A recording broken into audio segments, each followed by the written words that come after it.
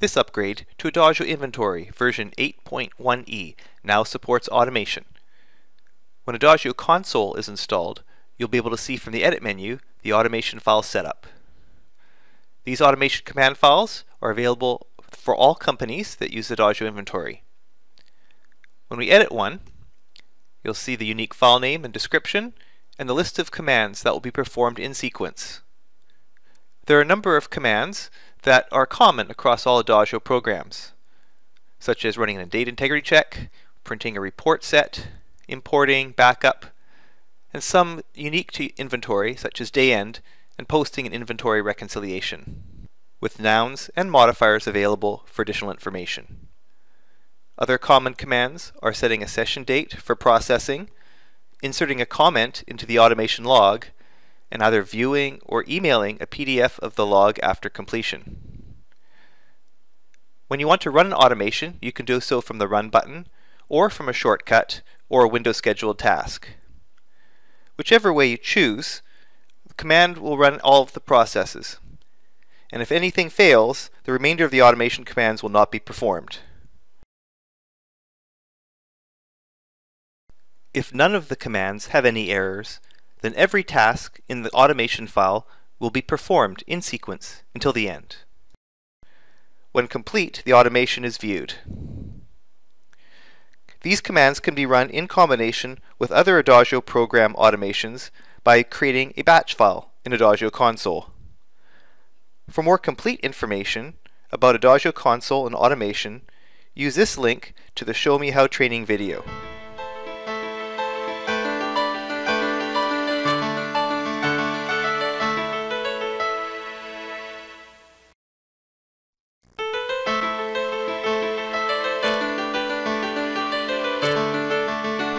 If either Adagio Invoices or Order Entry is used for customer invoicing of inventory items, and Adagio ePrint is also integrated, then the archive PDF customer copy is available to save additional invoice PDFs for lookup.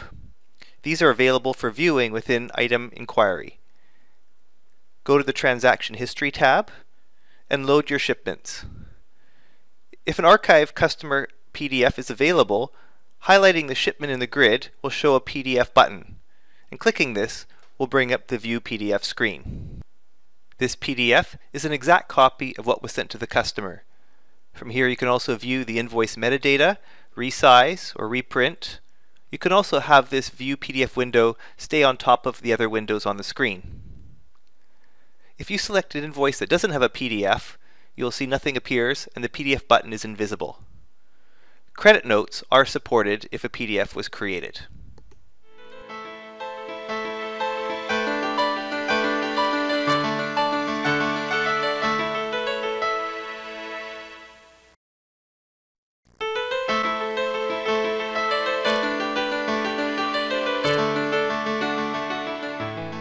This upgrade has some additional features for master item assembly for both processing and transaction history of component items. If you open the master item assembly function, you'll see that there's a component item grid at the bottom. When you select the master item number and the bill of material number, you'll see that the component items are displayed below. You also see the quantity on hand of the master item across all locations. When you choose a specific location for the build, you'll also see the location on hand for the master item. We'll add in a reference and then we'll build the master item. Master item bill of material information is now stored on the component assembly transactions. If you look at the transaction history, the dictionary now includes the master item and bill of material numbers that can be added to the grid and for reporting. And assembly records will show that master item and bill of material number available, so you know which component items were used in which assemblies. Users of the Adagio Bill of Materials add-on will see even more new features than were previously available. And to see what these are, use this link to the Watch Me upgrade video for Adagio Bill of Materials.